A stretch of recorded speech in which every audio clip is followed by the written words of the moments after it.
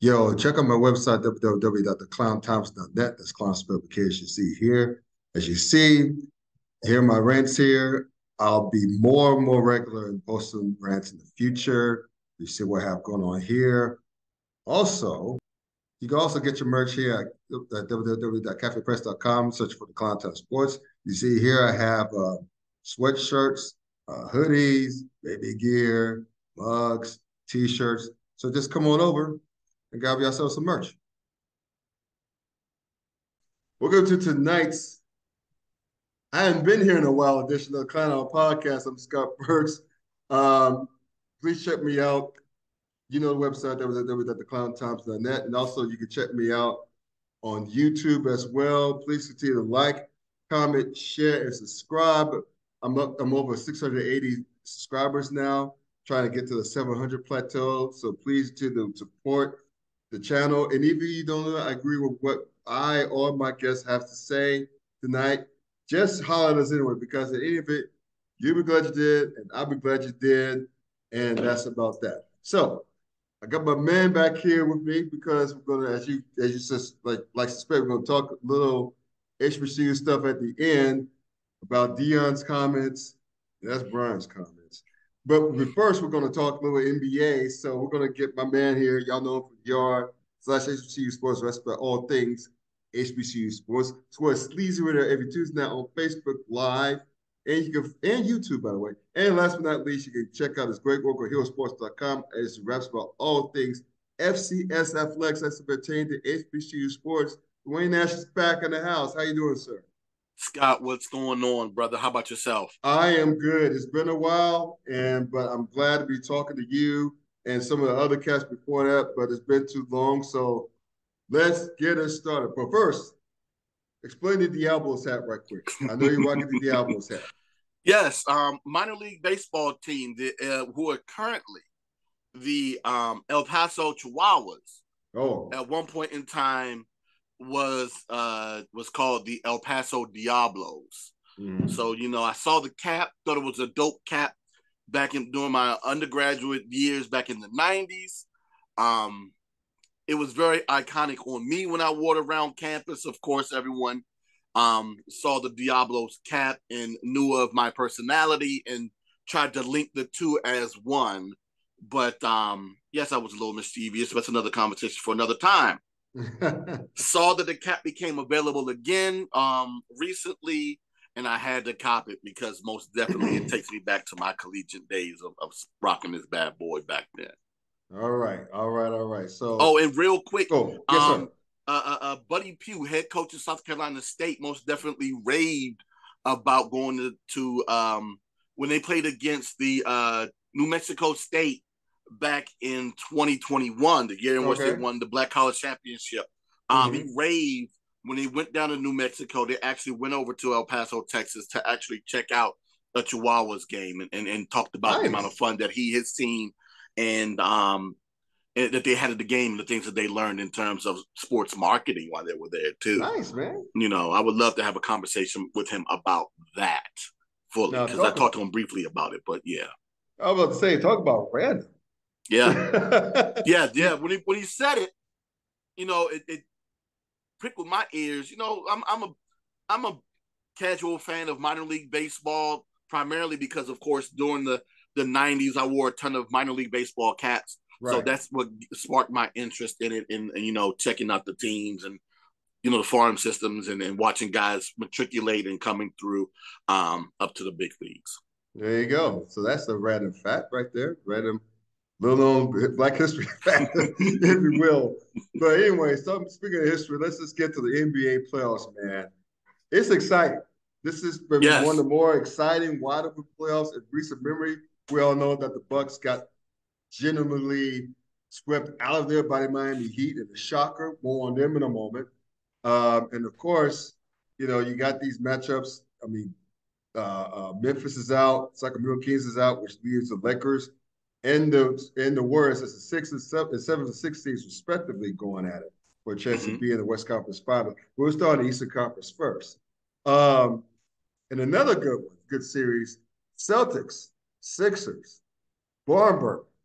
I mean, James Harden showed up with 42 points to go along with Joel Embiid's 30 plus point performance. Um, they were up. Then the Celtics almost took it away. And, you know, that overtime, for some reason, Jaylen Brown, a big fan of his, for some reason, he left his man, his man being James Harden, the same James Harden who was cooking from three in overtime. He just left them and then went back to him. It was too late. Hit the winning shot, game over. And for some reason, Joe Mazzulla, head coach of the Celtics, refused to call a timeout. They set up a play. But anyway, that's not here nor there. But this this series, man, this Celtics Sixers series, mind you, I think the Celtics should have been up 3 1 at least by now. Mm-hmm. But nevertheless, this is shaping to be a seven game series. Again, two historic rivals. Again, Brandon basketball has been very exciting. So, uh, what are your thoughts on the Celtics Sixers? Because this is this has been a, this is living up to the hype so far. It is, you know, as a two and three seed going at it, most definitely like you said before, two uh, former, well, no, two, two current still Atlantic Division foes um, yeah. matching up as potential um, finals representatives for the Eastern Conference. But before I get to that, real quick, I have to point this out. Um, I say it often on Sleazy Sports. I'm the face, coach is the mouth, Sweet Lou is the brains. And Sweet Lou pointed out something last week that I couldn't eloquently say as he did. Uh-oh. Scott, I don't know if you noticed, but seeds one, two, three, four, five, six, seven, and eight from both conferences. Well, I'm sorry, a one, two, three, four, five, six, seven, and eight seed has advanced to the semi um, final rounds um, during the playoffs. Um, like you said, with Denver being the one, um, Boston being the two, Celtics, yep. uh, Philly being the 3 mm-hmm. Uh uh, uh, uh, uh, who's the four? Knicks. No, actually, Knicks aren't the yeah, four. Knicks, are the five. Yeah. Um, yeah. Phoenix is the four. Right. Six being Golden State, seven being the Lakers, and the eight seed, of course, being Miami. That's first wild. time. First time in NBA history that has happened. Um, and then again, you know, this is this is like a continuation of the collegiate uh, basketball season where we're seeing top seeds get eliminated um, yeah. relatively early. But to your point, the the the, the two and the three seed going at it right now. Um, God, the, the average point, uh, uh, uh, uh the average um scoring margin uh, uh, between the two teams.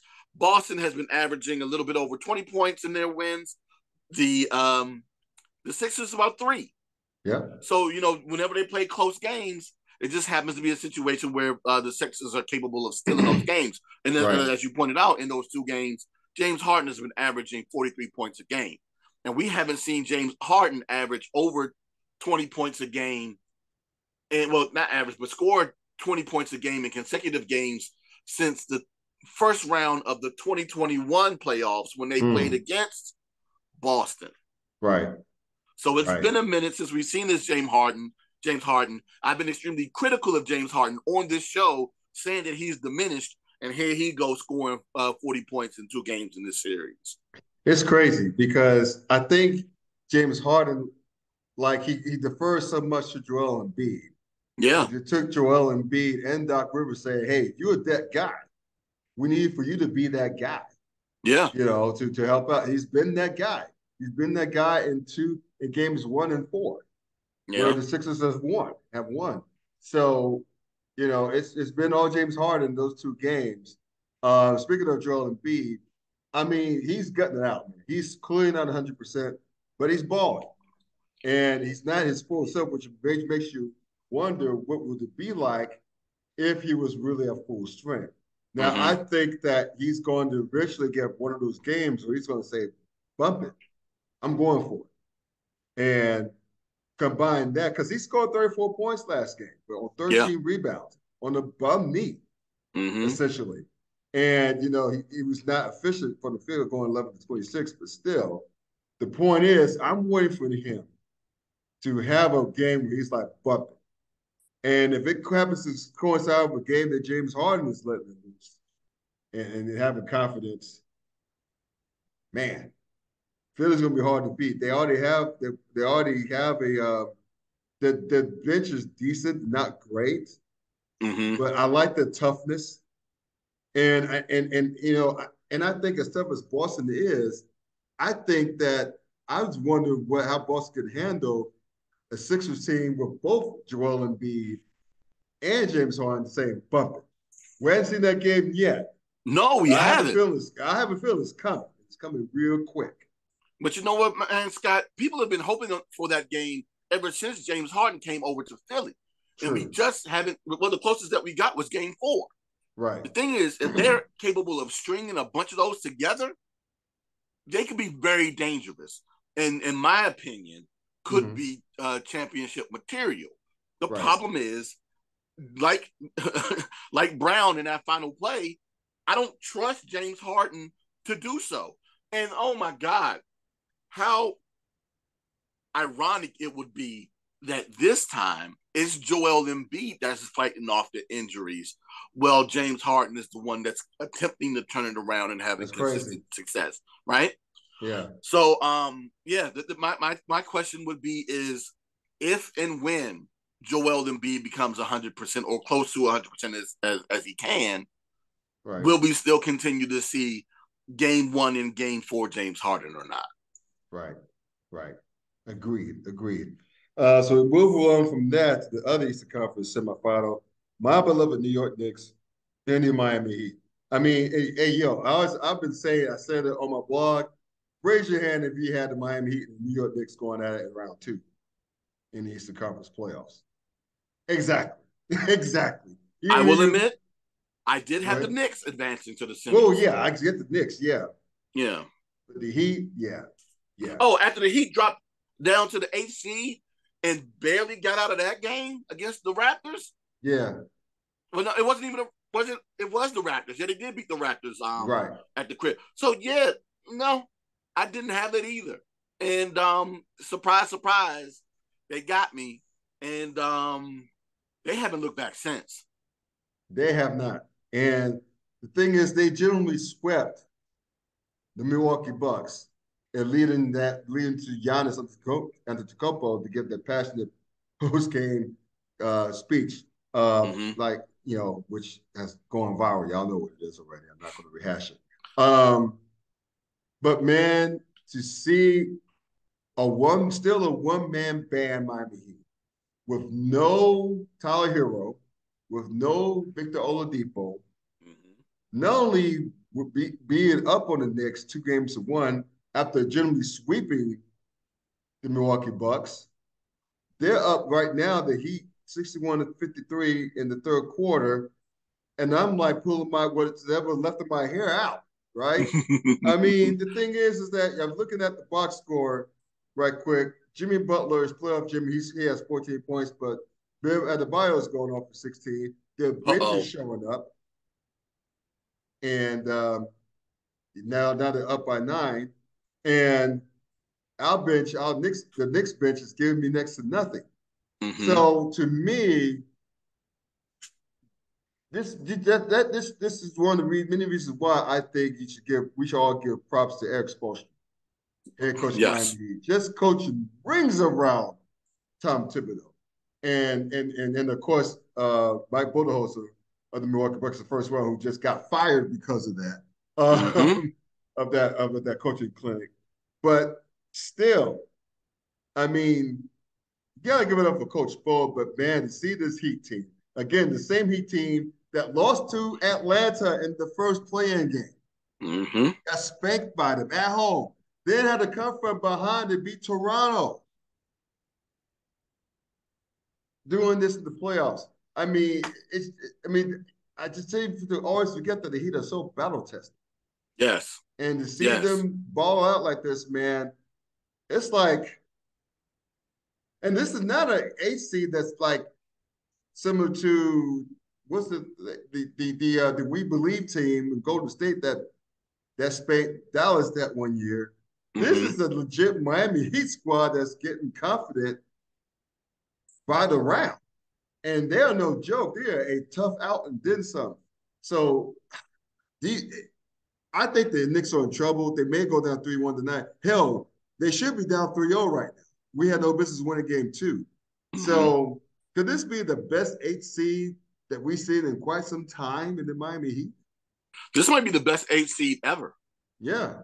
Might be the best eight seed ever. We've only seen six number eights win, you know, their first round series ever. Right. And they did it in five games. Right.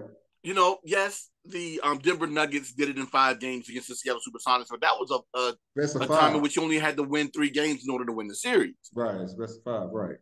These Bamas did it in five and convincingly in 5 mm-hmm. Um, yeah, and and and you talk about Coach Spo. Got to remember, this is the same coach that everyone questioned this is hire originally. Of course, right? And right. then there were questions on whether or not he would be able to coach that super team that, that LeBron built when he went down. Right. And then he's all he's been doing is just making this team viable ever since his hiring as head coach. Um, and in this in this series, they got six guys averaging in double figures right now. Of course, led by playoff Jimmy. And then you right. also got Kevin Love, who's in the fray, averaging seven and seven during the, the series as well. This is going to. We talked about what Philly potentially could be. The same could be said about the Miami Heat. Now, right. Philly might be a, a matchup nightmare with Joel Embiid down low, but that's if he's healthy, right? Correct. And then, of course, if he can get past, or if they can get past Boston, and even right. if Boston wins that series, height wise, it's a, it's a wash. And both of those teams play and play extremely hard. The question at that that point though is consistency and whoever who who would be capable of winning on a consistent basis between Miami and Boston, and that would be a coin flip, based right. from night to night. And you will you would pray that no one would get injured in either series. But yeah, as of right now, I would be t- definitely afraid of the uh, Miami Heat right now, the way that they're looking and how confident they've been looking and how dominant they've looked in their wins throughout the playoffs. And that's the key confidence.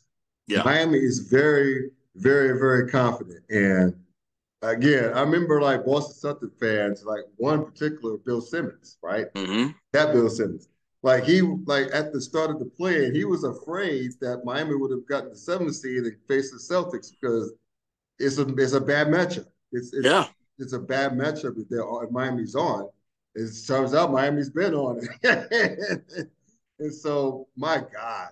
I mean, it's good to see the rekindle of the Miami Heat New York Knicks playoff rivalry. Yes. But damn, I mean, the, the, it's a coaching clinic right now, and Spoelstra's winning that winning that shit hook, line, and sinker. It is just, it's amazing to see the job that he's doing right now my Knicks. Again, a one man band and Jimmy Butler, the Jimmy Butler led Miami Heat, but the bitches, their bitches give them something.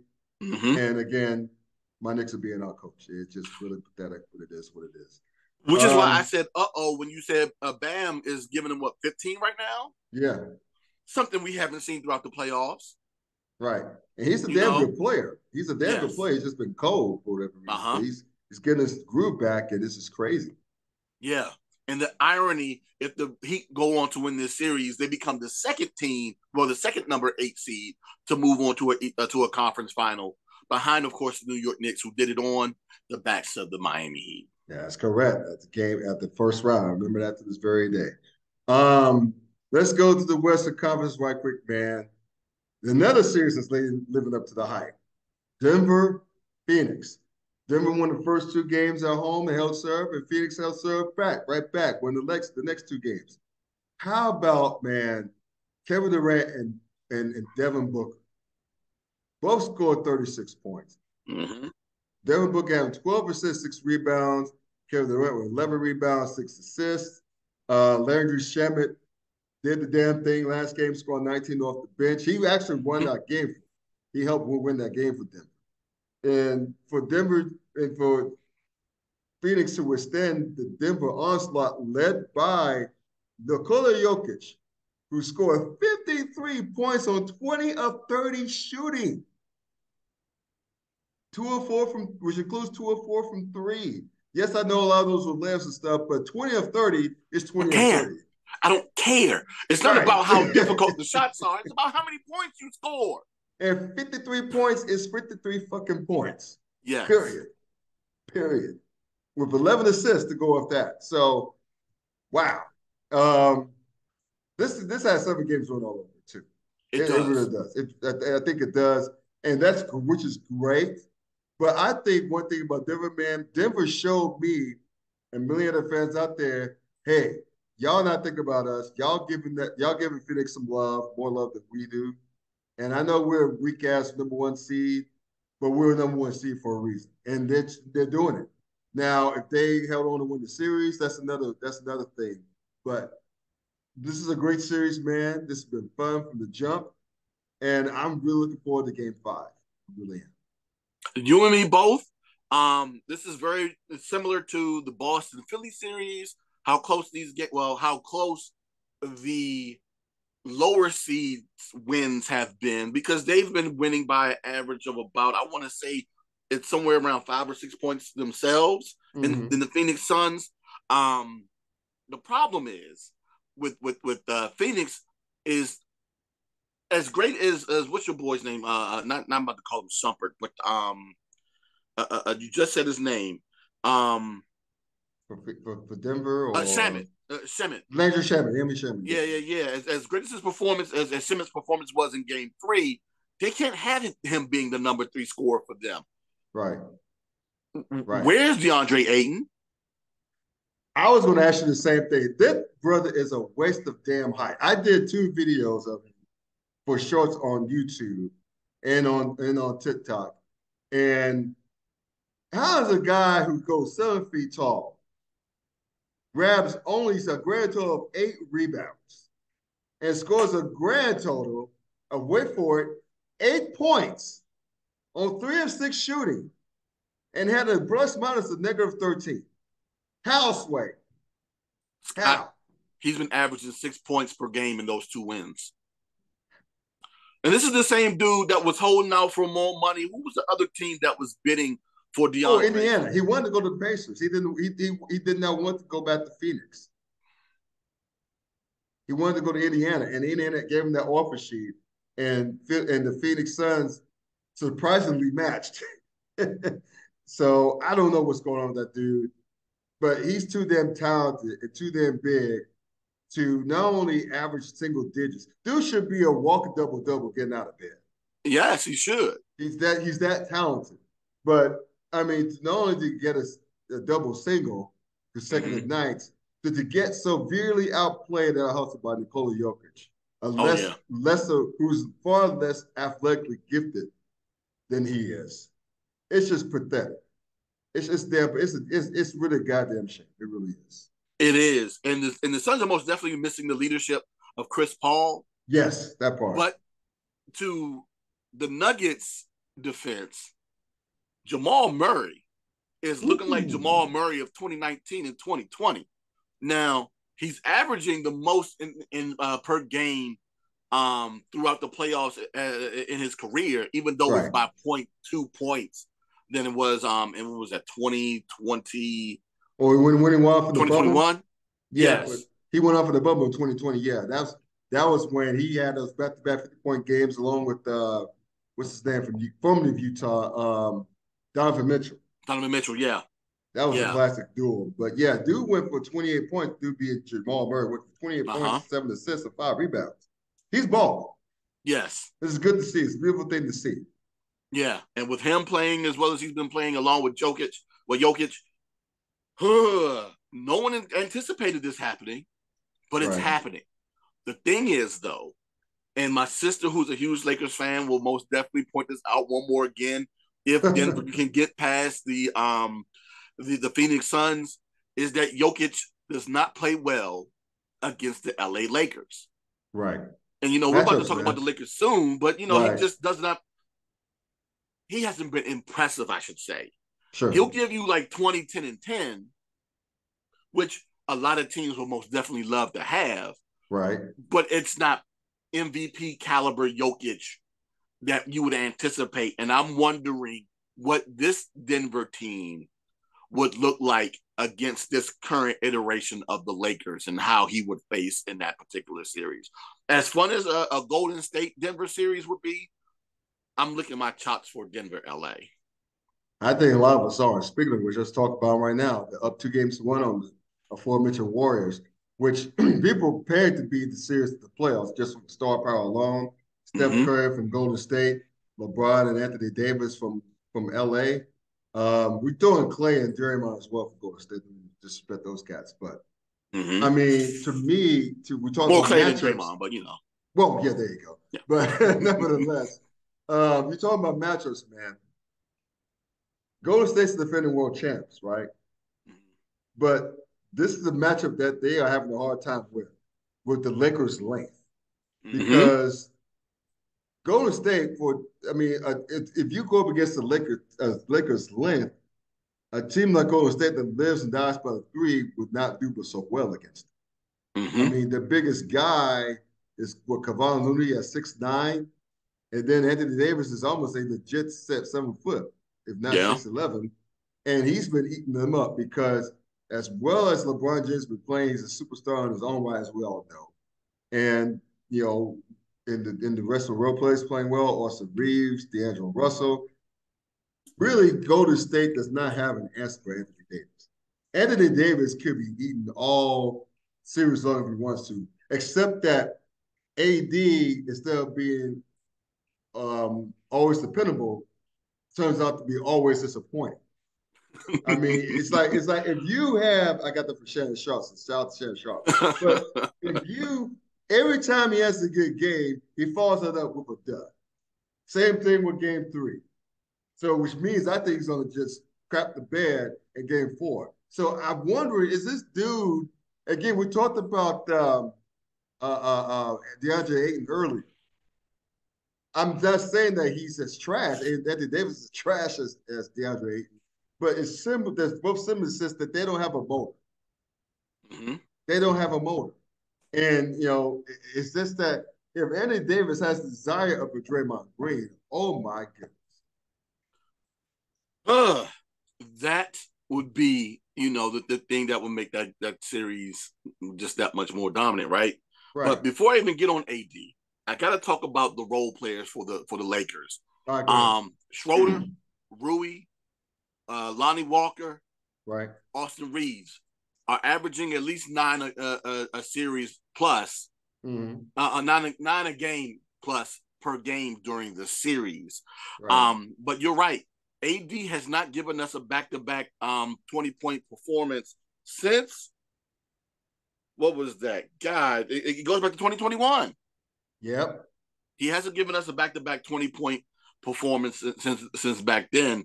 And um when he gives uh, the Lakers at least 22 points in the game, they're four and one so far during the playoffs this year. Right. But as a Laker, they are 20 and five whenever he gives them at least 22 uh, or more. So if, if he can do that on a consistent basis, again, the Lakers would be completely dominant. The thing is, though, we don't know what AD we're going to get from game to game. Are we going to get the the AD that we got in game three, or are we going to get the now infamous, what I like to call Mr. Glass, with this Bama will get hurt just jumping up for a rebound. Exactly. Or as Charles Barkley would tell it, would call him all the time, street clothes. Yes, right. Become street clothes Davis instead of Anthony Davis. So it's just it, it's just frustrating. I mean, I talked to members. I know members of not all members, a lot of members, excuse me, Laker Nation. They're mm-hmm. frustrated as hell with it. I could feel their pain. I grew up, I grew up hating the Lakers, being a Knicks fan and the Celtics.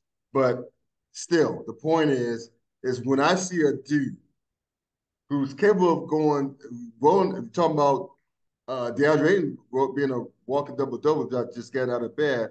Anthony Davis should be 30, 30 and 15 easily. Yeah. 30 points, 15 rebounds at least. Yes, he had 25 and 13 in game three in the dominant fashion. He's much more dominant game one. But he just needs to, I mean, the matchup screen for Anthony Davis to be that dude. Yes. It's just screaming for him to be that dude. Because who's going to check him? No, they have Golden State has no one that could match him up size wise and by physicality and skill and talent. Mm-hmm. He's, he's the biggest dude out there. And to see him just take a night off every other fucking night is just crazy to me. But for Laker Nation's sake, I hope that Bama, using your word, shows the hell up because again, the matchup screamed for him to dominate. Yes, it does. Screamed for him to dominate. I mean, LeBron is LeBron, but LeBron even said himself, this should be Anthony Davis's team. Yeah. That was the hope when he first came over. Was that you know what? Bron can go ahead and just relinquish everything to AD, yeah. let him run it, because right. that Bama just can't stay healthy. And um, to your point, remember that that stretch earlier in the season when he was like dominating and having insane games, like in in, in November and early December. Mm-hmm. My sister was screaming, "Trade him now! This is trade bait, AD, right now. Let somebody else deal with that problem, and let us roll with Thomas Bryant. Let us get another young big down there to play alongside and develop around LeBron, and we can go ahead and win this thing with young boys." But the Lakers made their choice, right? And it's not necessarily a trash choice, right? It would be a lot much better if they can get consistent, but in the mm-hmm. defense of Golden State with Steve Kerr as their head coach, the, the Golden State Warriors are 8 and 0 after playoff losses of 15 points or more. Right. They're seeking the sixth series win while trailing that series 2 to 1 and they are 3 and 1 in games when trailing the series. So,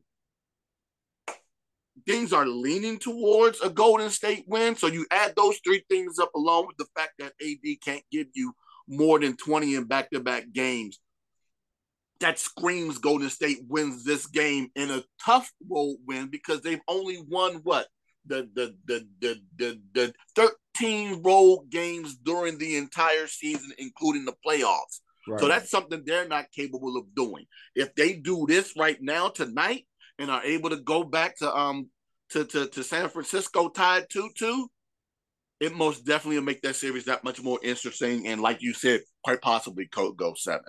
Exactly, exactly. And so we could all bet on whether this goes seven or not by going to betus.com. So quick shout out to our sponsors. So listen to sports bettors. Your favorite sports book, betus.com, is back for the 20th year of for action with the industry's biggest sign-up bonus up to 200%. BetUS, uh, BetUS rather offers members the opportunity to cash in for all your favorite sports, including the NFL, UFC, and MLB.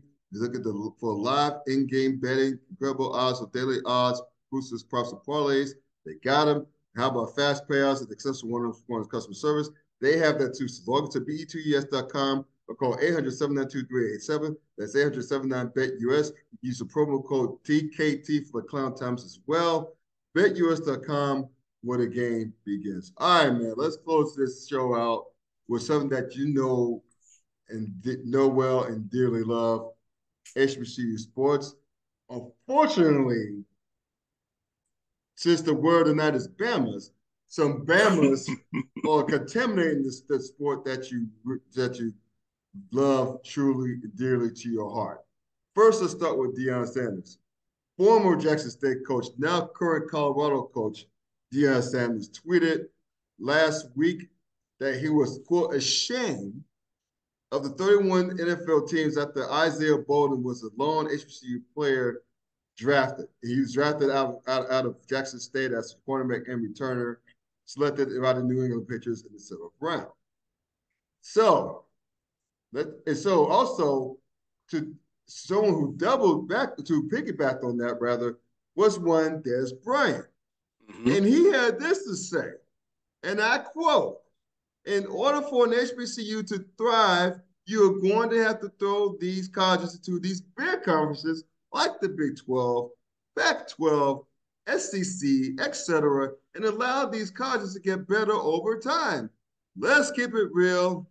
And uh, well, now for him to throw the Pac 12 in there, suspect in of itself, given what's going on with them, but that, that's not a here nor there.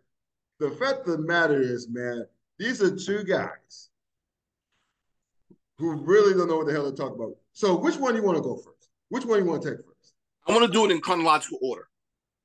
Okay, right? let's go to yeah. Let's go to prime time. Yes, sir. Go start with Coach Prime first. Yeah. Um, as much of an issue, actually, this issue, I was going to originally say that it's an FBS issue because I think they had about eleven guys get drafted from the FBS level.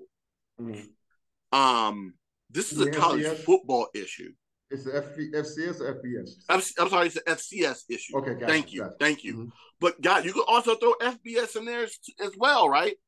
Um, I'm still doing the numbers on this because I want to go ahead and see what, what, these numbers bear out over the past three to four years. Mm-hmm. But in this season, we've had 40% of the players drafted in this past draft. Right. Scott, from 19 teams,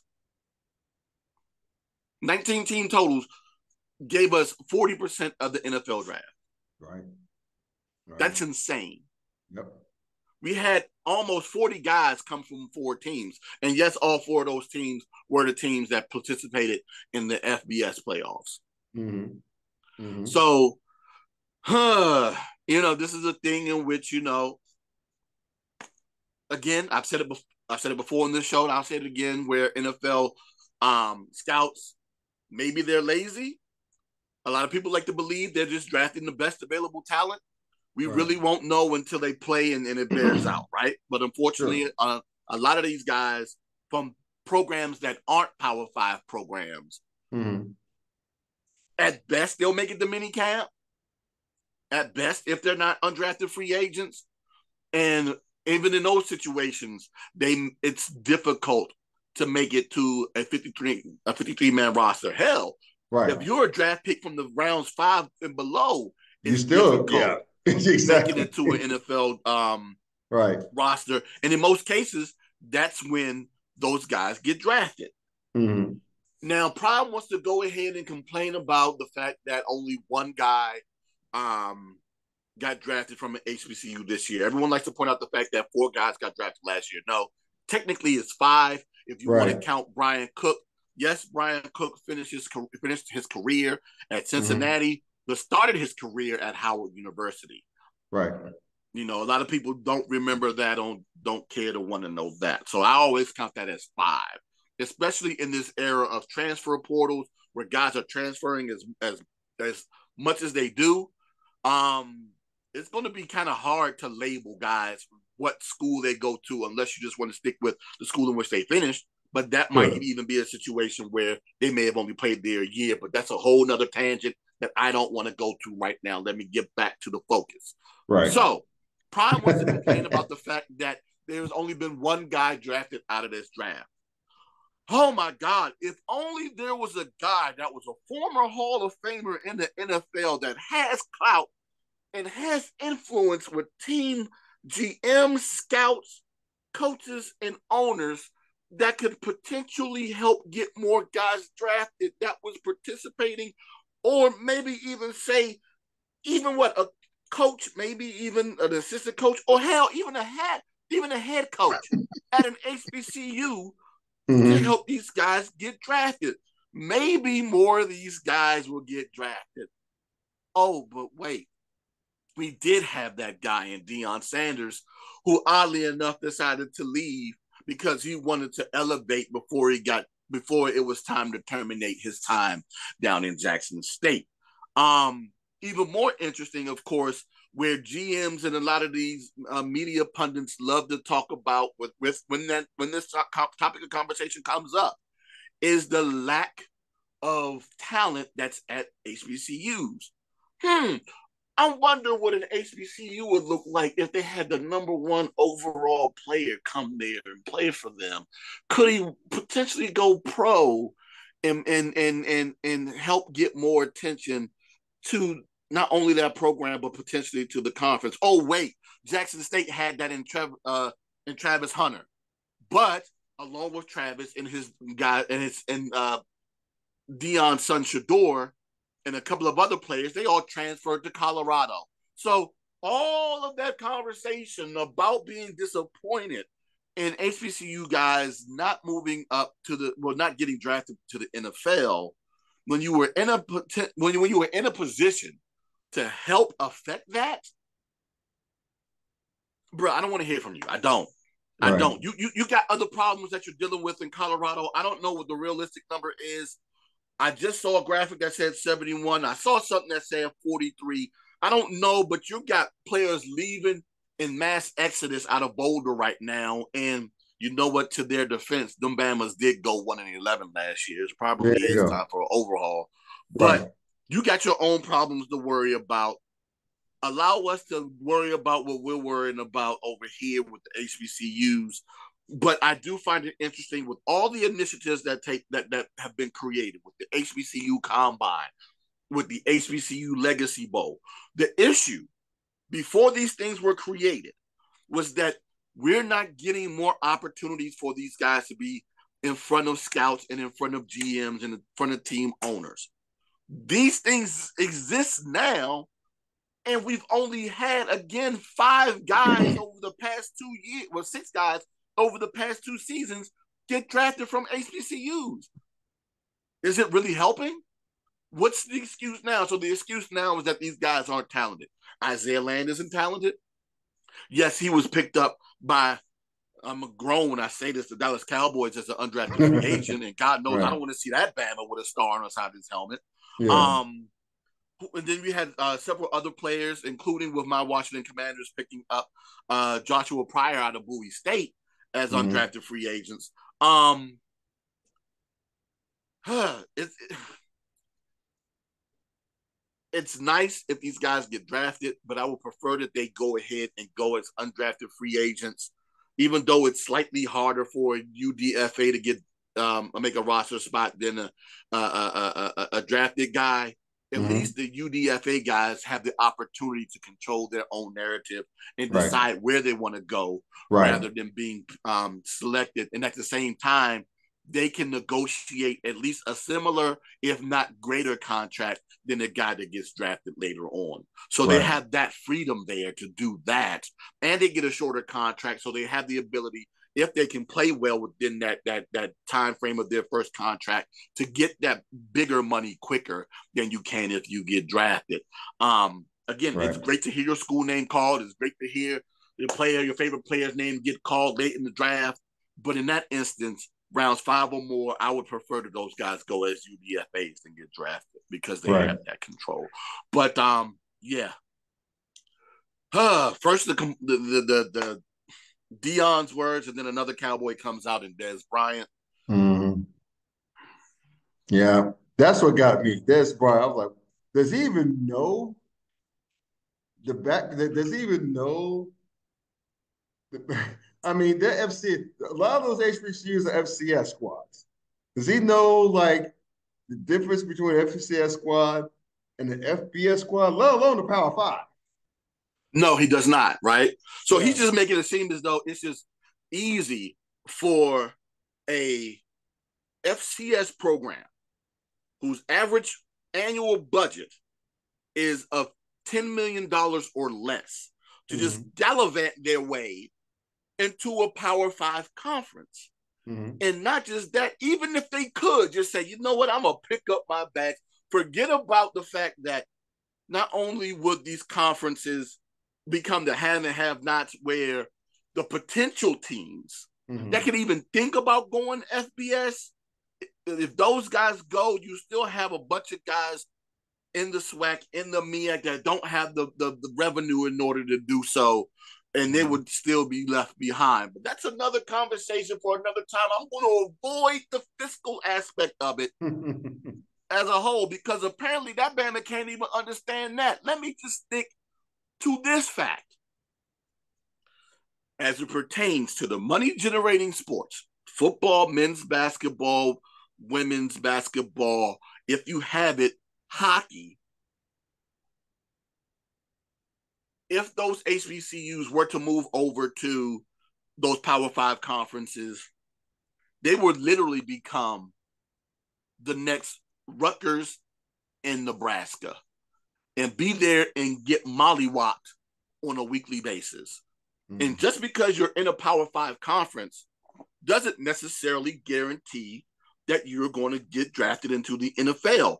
As much as it helps, it's not necessarily a guarantee. Can, can we run down the list of all of the Power Five conference teams that that had one player get drafted there? Let's go through this line real quick. Um, mm, yes, Arizona State, Pac-12, like um your boy called they should go to. I doubt that, right? Mm-hmm. Cal, another Pac-12 team, right? Florida State, one guy.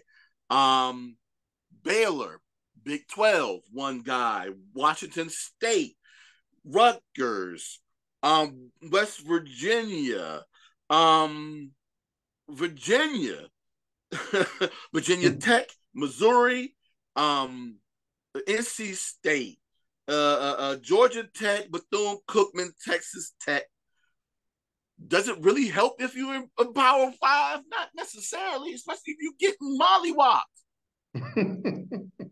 you're still gonna have one guy. Right. It don't even matter. So, uh, bruh, I'm gonna need you to uh, either, and, and this isn't necessarily me being a gatekeeper here, right? Mm-hmm. Um, this is me wanting someone to speak with some sort of intelligence, right? Because w- what you're saying is these schools should just walk to a Power Five and say, "Hey, let us in," when there are other FBS programs that are looking to do the exact same thing that have larger revenues, that have larger um, enrollment than the HBCUs, that are actually getting state money, unlike most HBCUs, right. to help fund their institutions. That's another yep. tangent that I know will probably, you know, what, I'm not going to insult the man. I'm not. But for him to say what he said boggles my mind to make it seem that easy. Oh, bruh, you can just go ahead and just go ahead and just become a Power Five conference team and go ahead and get your guys drafted. And then he followed it up by saying, if I wasn't playing ball, I would have gone to an HBCU. Hmm. Wow. Again, I'm not going to sit here and insult the man, but um, yeah, I just ask that anyone that is critical of anything it would help if you were educated on it, especially if you're speaking on HBCUs and it comes my way. I'm gonna want you to be educated on it, right? At least, or at least be willing to be educated. And that was um not a bright state because you don't want to get your ass roasted the way he got roasted on Twitter. Oh, he most definitely got roasted, and I'm glad that those that got him got him. But I I'm I'm looking to go ahead and actually put up figures so he can see that. You know what? Because sometimes for some people it helps to see numbers and colors mm-hmm. so they mm-hmm. can learn things a little bit easier. so let me go ahead and put some numbers up and put some colors up so you can see and say, "Oh, okay, I get it now." They right. can't just do that. Hell, they haven't. Never mind. Never mind. Just know this it's not that easy. Because if that was the case all what? Because there are about five to six hundred collegiate football programs on the fcs fbs and d2 level. If it was that easy there will be over 500 schools that will be knocking down the door of the power five conferences look to get in so they can get more exposure and more money. Right. Right all right, bro. Well said. Where can we find your great work on social media? As always, the Yard HBCU, all social media platforms. And coming soon to herosports.com because the football season is right around the corner. Media days are coming up in July, so we're going to start yes. doing our preview soon for everything. Yes. Catch me there on, on herosports.com where I'll be um, very soon doing previews for the um, for the upcoming football season, and then of course, you know, I will be tweeting out things about the um, recent track and field championships that have been going on right now. Congratulations to North Carolina A and T, um, who finished third for the uh, I believe it was third for women's, fourth for men um, in the CAA conference. Um, and I believe that the SWAC and MEAC are going on right now as it pertains to Division One track and field. So, um, good luck to those programs that are out there looking to win conference championships and hopefully compete on the national level. All right, man. Y'all heard. Please check this brother out. It's great work. You see the website on the backdrop, theyardhbcu.com, herosports.com, and of course, Lee's Reddit every Tuesday night on Facebook Live and YouTube. All right, so please do this like, comment, share, and subscribe to the channel, man. either event, even if you agree or not, you'll be glad you did, and I'll be glad you did. So until next time, take care. Enjoy the rest of the NBA playoffs. We out here.